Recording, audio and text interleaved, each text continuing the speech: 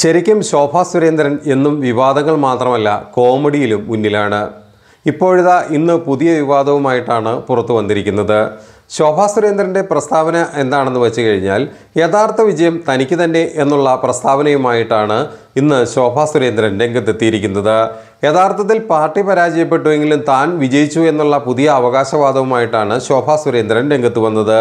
ഒരു സമയത്ത് കേന്ദ്രമന്ത്രിയായിരുന്ന മുരളീധരനോട് പെട്രോളിന്റെ വില വർധനവിനെ കുറിച്ച് ചോദിച്ചപ്പോൾ യഥാർത്ഥത്തിൽ വില വർദ്ധിച്ചത് യഥാർത്ഥത്തിൽ ജനങ്ങൾക്ക് ലഭിച്ചിട്ടില്ല എന്നെല്ലാം ഉള്ള മാധ്യമപ്രവർത്തകരുടെ ചോദ്യങ്ങൾ ഉന്നയിച്ചപ്പോൾ മുരളീധരൻ പറഞ്ഞ ചിരിപ്പിക്കുന്ന ഒരു മറുപടി ഇന്നും ആരും മറന്നിട്ടില്ല. യഥാർത്ഥ ക്രൂഡ് ഓയിലിന്റെ വില അന്താരാഷ്ട്ര വിപണിയിൽ വർദ്ധിച്ചതിനനുസരിച്ച് ഇന്ത്യയിൽ അത്തരത്തിൽ വില വർദ്ധിച്ചിട്ടില്ല എന്നും ആ യഥാർത്ഥ വില ജനങ്ങൾക്ക് അനുഭവപ്പെട്ടിട്ടില്ല എന്നുള്ള വിചിത്രമായ തരത്തിലുള്ള ഒരു മറുപടിയാണ് അദ്ദേഹം അന്ന് നൽകിയത്. ഈ മറുപടി ആകട്ടെ ആർക്കും ഒന്നും മനസ്സിലായില്ല.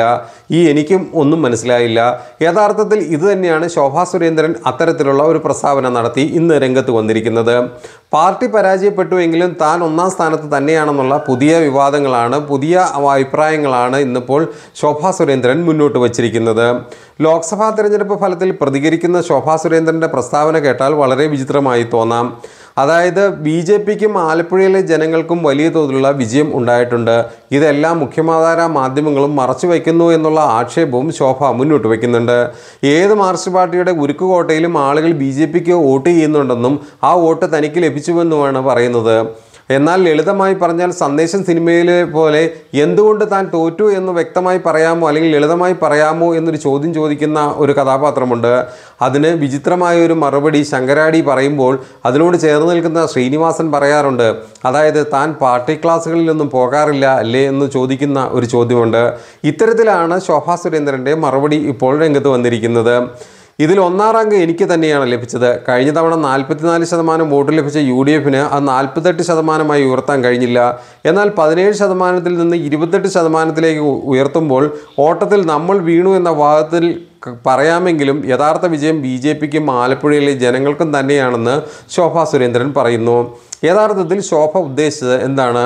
പാർട്ടി പിന്നിൽ നിന്നും കൊത്തി അഥവാ കൃത്യമായി പറഞ്ഞ സുരേന്ദ്രൻ സുരേന്ദ്രപക്ഷവും ശോഭയെ തകർക്കാനുള്ള വലിയ തോതിലുള്ള നീക്കങ്ങൾ നടത്തി തകർത്ത് തരിപ്പണമാക്കിയതാണ്.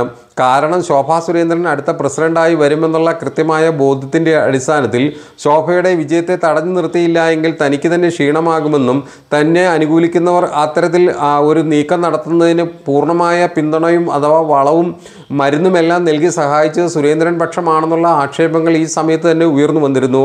അതായത് തെരഞ്ഞെടുപ്പിന്റെ പ്രചാരണ ഘട്ടത്തിൽ പാർട്ടിയുടെ ഭാഗത്തുനിന്നും ശക്തമായ ഒരു പിന്തുണ ലഭിക്കുന്നില്ല എന്ന് പറഞ്ഞ് പൊട്ടിക്കരഞ്ഞ ശോഭാ സുരേന്ദ്രനെ നമ്മളെല്ലാവരും കണ്ടതാണ്. ഒരു സ്വകാര്യ ചാനൽ ഇത് വാർത്തയാക്കിയെന്നും ഇത്തരത്തിലുള്ള അവർക്ക് ശാപവാക്കുകൾ പൊഴിയുകയും തുടങ്ങിയ വിവിധ വിവാദ വിഷയങ്ങൾ അതുപോലെ തന്നെ ഇടനിലക്കാരനായ ഒരു ബ്രോക്കറെ കുറിച്ചുള്ള വലിയ ആക്ഷേപങ്ങൾ ഇ പി എ ജയരാജനെതിരെയുള്ള ആക്ഷേപങ്ങൾ അങ്ങനെ നിരവധിയായ ആക്ഷേപങ്ങളുമായി ശോഭാ സുരേന്ദ്രൻ വന്നതാണ്. അതായത് ശരിക്കും പറഞ്ഞ പിടിവിട്ട കൈവിട്ട കോട കത്തി കല്ല് പോലെയായിരുന്നു പല പ്രതികരണങ്ങളും. തിരിച്ചെടുക്കാനാകാത്ത വിധത്തിലുള്ള വലിയ വികാര വിക്ഷോഭങ്ങളും നാടകങ്ങളുമെല്ലാം നടത്തിയാണ് ശോഭ ഒരു തരത്തിൽ കളത്തിൽ പിടിച്ചു നിന്നത്. ഇതിനിടയിലാണ് താൻ തന്നെയാണ് ഇപ്പോൾ വിജയിച്ചിരിക്കുന്നത് എന്നുള്ള വിചിത്രവാദവുമായി ഇപ്പോൾ ശോഭ രംഗത്ത് വന്നിരിക്കുന്നത്. അതായത് രാജ്യം മൂന്നാമതും നരേന്ദ്രമോദിക്കൊപ്പം നിന്നതിൽ സന്തോഷമുണ്ടെന്ന് ശോഭാ സുരേന്ദ്രൻ പ്രതികരിച്ചു. കേരള രാഷ്ട്രീയം മാറിമറിയുകയാണ്. ദേശീയ രാഷ്ട്രീയത്തിന്റെ അലയൊലികൾ ഏറ്റുവാങ്ങിക്കൊണ്ട് തൃശ്ശൂരിൽ സുരേഷ് ഗോപിയെ ജനങ്ങൾ സ്വീകരിച്ചു എന്നതിൽ ഏറെ സന്തോഷം. അതായത് എല്ലാവരും സുരേഷ് ഗോപിയെ മാതൃകയാക്കണമെന്ന് പാർട്ടി ഇത്തരത്തിൽ പ്രതികരിക്കണം അല്ലെങ്കിൽ അല്ലെങ്കിൽ പ്രവർത്തിക്കണമെന്നുള്ള വിവിധ തരത്തിലുള്ള കോണുകളിൽ നിന്നുള്ള ആക്ഷേപങ്ങളും ആരോപണങ്ങളും ഇവർക്കെതിരെ ഉണ്ടായപ്പോൾ ഇവർ പറയുന്നത് കൃത്യമായിട്ട് സുരേഷ് ഗോപിയെ ഫോളോ ചെയ്യണം എന്നുള്ളത് തന്നെയാണ്.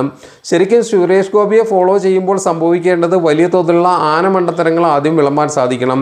പിന്നീട് വിവാദ വിഷയങ്ങളിലേക്ക് കൂപ്പുകുത്തണം. അതോടൊപ്പം തന്നെ പ്രസിദ്ധിക്ക് പുറമെ കുപ്രസിദ്ധിയും വലിച്ചു ചേർക്കുമ്പോൾ മാത്രമാണ് സുരേഷ് ഗോപിയെ പോലെ ആകാൻ കഴിയുക. സുരേഷ് ഗോപി തന്റെ വ്യക്തിപ്രഭാവം ഉപയോഗിച്ചു എന്നുള്ളത് വളരെ വസ്തുതയാണ്. കല അതായത് ക്രിസ്ത്യൻ ചർച്ചുകളിലും അമ്പലങ്ങളിലും വിശ്വാസികൾക്കിടയിലും വലിയ തോതിലുള്ള തലങ്കം ഉണ്ടാക്കി എന്നുള്ളത് സത്യമാണ്. ദേശീയ നേതാക്കൾ ക്യാമ്പ് ചെയ്ത് നിന്ന് അവിടുത്തെ എ ക്ലാസ് മണ്ഡലമായി പ്രവർത്തിച്ചു എന്നുള്ള തെളിവാണ്. ഇത്തരത്തിലുള്ള ഒരു പ്രവർത്തനം കേരളത്തിലെ എല്ലാ മണ്ഡലങ്ങളിലും നാളുകളായി നടത്തി വന്നാൽ പലർക്കും വിജയിക്കാനാകും. അത് ബി ജെ പി സ്ഥാനാർത്ഥികൾക്ക് മാത്രമല്ല ഏതൊരു സ്ഥാനാർത്ഥിക്കും ആ മണ്ഡലത്തിൽ നിന്നും ഏത് മണ്ഡലത്തിലും വിജയിക്കാനാവും. അത് ചിട്ടയാർന്ന കേഡർ സൈസായ ഒരു പ്രവർത്തനങ്ങൾ നടത്തുമ്പോഴാണ് ഇത്തരത്തിൽ നടത്താനാകുക. അതല്ലാതെ പരസ്പരം പാര വച്ചും പിടലിക്ക് വെട്ടിയും കുതികാൽ വെട്ടിയും മുന്നോട്ട് മുന്നോട്ട് നീങ്ങിക്കഴിഞ്ഞാൽ എങ്ങനെയാണ് മുന്നോട്ട് പോകാൻ സാധിക്കുക? ഇത്തരത്തിലുള്ള പ്രസ്താവനകൾ നടത്തുന്നതിന് മുമ്പ് ശോഭാ സുരേന്ദ്രൻ ചിന്തിക്കേണ്ടത് സ്വന്തം പാളയത്തിലെ പട എങ്ങനെ ഒതുക്കാമെന്നുള്ള കാര്യമാണ് ആദ്യം ചിന്തിക്കേണ്ടത്. രണ്ടാമത് സ്വന്തം നേതാക്കൾ തന്നെ തനിക്കെതിരെ തിരിയുമ്പോൾ എങ്ങനെ അതിനെ മെയിന്റെയിൻ ചെയ്യാമെന്ന് പഠിക്കേണ്ടതുണ്ട്. ഇത്തരത്തിൽ കൃത്യമായ അച്ചടക്കപരമായ ചില നീക്കങ്ങൾ നടത്തിയെങ്കിൽ മാത്രമാണ് ശോഭയെ പോലുള്ളവർക്ക് മുന്നോട്ട് വരാൻ സാധിക്കുകയുള്ളൂ. അതായത് അവസരം കിട്ടുമ്പോൾ പല ഘട്ടത്തിലും വർഗീയമായ പരാമർശങ്ങൾ പറയുന്നതിലോ പ്രവർത്തിക്കുന്നതിലോ ശോഭയും ശോഭയോട് ഒപ്പമുള്ളവർ ആരും പിന്നിലില്ല. നരേന്ദ്രമോദിക്ക് ഒത്ത നേതാവായി പല ഘട്ടത്തിലും ശോഭയുടെ ചില പരാമർശങ്ങൾ വന്നിട്ടുണ്ട്. കാരണം ഇത്തരത്തിലുള്ള പരാമർശങ്ങൾ വരുമ്പോൾ വളരെ കൃത്യതയോടെ ജാഗ്രതയോടെ പ്രവർത്തിച്ച് ജനങ്ങളെ വിശ്വാസത്തിലെടുക്കാൻ കഴിഞ്ഞെങ്കിൽ മാത്രമാണ് ബി ജെ പിക്ക് എന്നല്ല ഏത് രാഷ്ട്രീയ നേതാവിനും മുന്നോട്ട് പോകാൻ സാധിക്കുകയുള്ളൂ. ജനങ്ങൾ പഴയ കാലത്തല്ല ഇരുണ്ട യുഗത്തിലല്ല അവർ വളരെയധികം പുരോഗതിയിലാണ് അവർ വളരെ വിദ്യാഭ്യാസമുള്ള ആളുകളാണ്. കൃത്യമായി കാര്യങ്ങൾ പഠിക്കുകയും പരിശോധിക്കുകയും മനസ്സിലാക്കുകയും ചെയ്ത് ക്രിയാത്മകമായി പ്രവർത്തിക്കുന്ന ഒരു നാട്ടിലാണ് നമ്മൾ ജീവിക്കുന്നത്.